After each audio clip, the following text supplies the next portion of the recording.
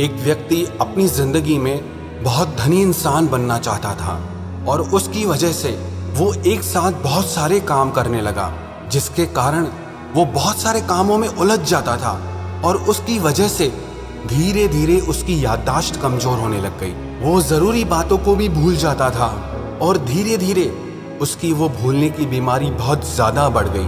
वो हर बात को थोड़ी सी ही देर में भूल जाता था।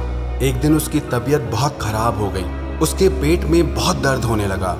पुराने समय की बात है, उस समय डॉक्टर तो होते नहीं थे, वैद्य होते थे तो वो व्यक्ति वैद्य के पास गया। वैद्य ने उस व्यक्ति से पूछा, तुम्हें क्या हुआ है? वो व्यक्ति कहने लगा कि, मेरे पेट में बहुत दर्द है। तो वैद्य ने उससे सारी बात जानी। फिर वैद्य को पता चला ये इंसान काम में बहुत ज़्यादा उलझा हुआ है और उल्टा सीधा कुछ भी खा लेता है। तो उस वैद्य ने उस व्यक्ति से कहा कि तुम्हारे पेट में जो दर्द है, वो गलत खान पान के कारण है। इसीलिए अब थोड़े दिन के लिए तुम सिर्फ़ खिचड़ी खाना। उस व्यक्ति ने कहा, ठीक है, अब मैं खिचड़ी ही खाऊँगा। लेकिन फिर उस व्यक्ति ने वैद्य से कहा कि, मुझे भूलने की भी बीमारी है। कहीं ऐसा ना हो कि घर पहुँचते पहुँचते मैं ये ही भूल जाऊँ कि मुझे क्या खाना है। तो वैद्य ने उससे कहा, आप बिल्कुल भी चिंता मत करो। आप यहाँ से लेकर के अपने घर तक खिचड़ी खिचड़ी बोलते जाओ, जिससे ये नाम आपको भूलेगा नहीं। उस व्यक्ति ने कहा, ये आइडिया सही है। मैं पूरे मार्ग में खिचड़ी खिचड़ी बोलता हुआ जाऊँगा। अब उसे भूलने की आदत तो थी ही। अब खिचड़ी की जगह वो खाचड़ी हो गया। वो खाचड़ी खाचड़ी बोलता जा रहा था और मार्ग में एक किसान अपने खेत से चिड़ियाओं को भगा रहा था। लेकिन तभी उसने सुना कि कोई व्यक्ति ये कह रहा है कि खाचड़ी खाचड़ी, उसकी इस बात को सुनकर किसान को बहुत गुस्सा आया। किसान ने उस व्यक्ति को डांटते हुए कहा कि ये तुम क्या कह रहे हो? उस व्यक्ति ने कहा, मैं कह रहा हूँ खाचड़ी। तो किसान ने कहा, तुम्हें जरा भी अकल नहीं है। तुम देख नहीं रहे। मैं अपने खेत से चिड़ियाओं को भगा रहा हूँ और तुम उन्हें खाने के लिए बुला रहे हो। तो वो व्यक्ति बोला, मुझे तो वैद्य ने कहा है। किसान ने कहा, किसी ने भी कहा हो, लेकिन अब तुम खाचड़ी नहीं बोलोगे। उस व्यक्ति ने पूछा, फिर मुझे क्या कहना चाहिए? तो किसान ने बोला, अब तुम ऐसा बोलो। उड़ चिड़ी उड़ चिड़ी। इसे सुनकर सारी चिड़ियाएँ भाग जाएँगी। उस व्यक्ति ने कहा, ठीक है। अब वो उड़ चिड़ी उड़ चिड़ी कहने लगा। वो थोड़ा ही आगे चला था कि मार्ग में एक शिकारी चिड़ियाओं को फंसा रहा था। जब उसने ये सुना कि ये व्यक्ति उड़ चिड़ी उड़ चिड़ी कह रहा है, तब उसे बहुत गुस्सा आया और उस शिकारी ने इस व्यक्ति को ज़ोर से एक थप्पड़ मारी और उसे डांटने लगा कि, ये तुम क्या कह रहे हो? मैं यहाँ इतनी मुश्किल से चिड़ियाओं को फंसा रहा हूँ और तुम कह रहे हो उड़ चिड़ी। उस व्यक्ति ने कहा, मैं क्या करूँ? मुझे वैद्य ने कहा है। तो उस व्यक्ति ने कहा, किसी ने भी कहा हो। लेकिन अब तुम ये मत कहना। फिर उस व्यक्ति ने पूछा कि, मैं अब क्या कहूँ? तो उस व्यक्ति ने कहा, अब तुम ये कहना कि आते जाओ और पिंजरे में फंसते जाओ। फिर वो व्यक्ति यही बोलने लगा, आते जाओ और पिंजरे में फंसते जाओ। लेकिन थोड़ी देर बाद मार्ग में कुछ चोर, चोरी का धन लेकर के भाग रहे थे। और जब उन्होंने ये सुना कि एक व्यक्ति ये कह रहा है, आते जाओ और पिंजरे में फंस जाओ। ये हमें फंसाना चाहता है। ये हमें पुलिस को पकड़वाना चाहता है। उन चोरों ने इस व्यक्ति की बहुत पिटाई की और बोले कि, खबरदार, दोबारा तुमने अगर ये बात कही तो। वो व्यक्ति बोला कि, फिर मैं क्या कहूँ? तो उन चोरों ने कहा, अब तुम ये कहना कि इसे छोड़कर आओ और दूसरा लेकर आओ। फिर वो व्यक्ति यही कहने लगा, इसे छोड़कर आओ और दूसरा लेकर आओ। वो व्यक्ति ऐसे कहते हुए जा ही रहा था कि मार्ग में कुछ लोग किसी मृत व्यक्ति को शमशान ले जा रहे थे।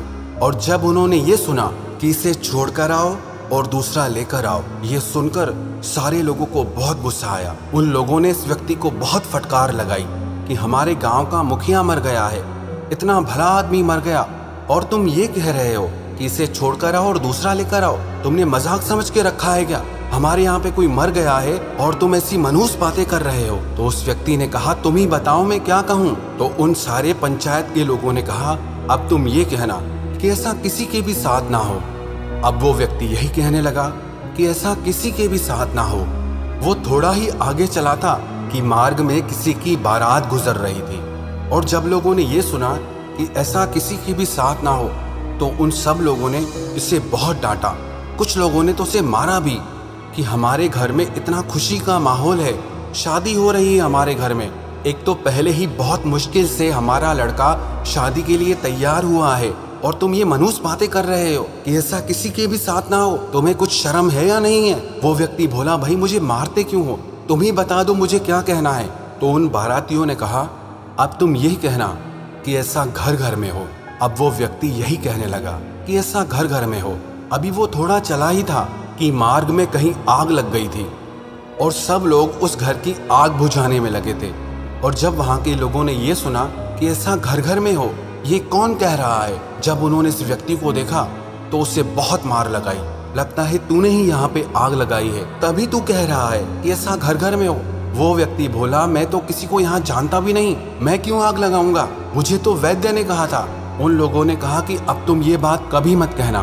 तो उस व्यक्ति ने पूछा आप ही बता दो कि मैं क्या कहूँ? फिर उन सारे लोगों ने मिलकर इस व्यक्ति से कहा, अब तुम ये कहना कि हे भगवान, इस आग को बुझा दो। अब वो ऐसे कहते ही जा रहा था कि मार्ग में उसे एक कुम्हार मिला, जो अग्नि से मिट्टी के घड़े बना रहा था। और जब उसने ये सुना कि कोई व्यक्ति ये कह रहा है कि हे भगवान, इस आग को बुझाओ तो उस कुम्हार को बहुत गुस्सा आया।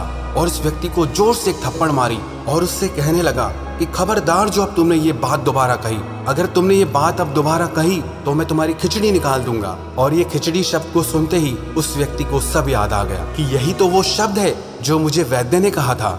फिर वो व्यक्ति चिल्ला के कहने लगा कि हाँ खिचड़ी, यही मुझे वैद्य ने कहा था। फिर वो व्यक्ति मनी मन सोचने लगा कि, मैं सिर्फ़ एक शब्द को भूला हूँ तो मुझे इतनी मार मिली है कि जो लोग ज़िंदगी को ही जीना भूल गए हैं, जो लोग खुश रहना भूल गए हैं, जो लोग हंसना भूल गए हैं, जो लोग ज़िंदगी की हर ज़रूरी बात को भूल गए हैं, उन लोगों को उलझनों की, परेशानियों की कितनी मार मिलती होगी? ये कहानी भी हमारी ही ज़िंदगी से जुड़ी है। हम भी ज़िंदगी की दौड़ में ना, जो ज़रूरी बातें हैं, उन्हें भूल जाते हैं। जो हमें करना चाहिए, उन्हें नहीं करते हैं। और बदले में हमें उलझनों की, तकलीफों की, परेशानियों की मार मिलती ही रहती है, दुख मिलता ही रहता है। अगर हम भी अपनी ज़िंदगी में ध्यान करना ना भूलें, अध्यात्म से जुड़े रहें, जो चीज़ें ज़िंदगी में हैं, उन्हें करना ना भूलें, ज़िंदगी में खुश रहना ना भूलें तो हमें कभी दुखों की और परेशानियों की मार मिलेगी ही नहीं। ये तीनों कहानियाँ हमें एक शिक्षा देती है। चाहे हम ज़िंदगी में हज़ार काम करें, लेकिन खुश रहना और मुस्कुराना कभी ना भूलें। जो चीज़ें हमारी ज़िंदगी के लिए बहुत ज़्यादा ज़रूरी है, उन्हें कभी भी कल पर ना टालें। अपने ज़िंदगी की खुशियों को कल पर ना टालें, बल्कि अपनी ज़िंदगी की खुशियाँ हमें आज में ही जीनी चाहिए।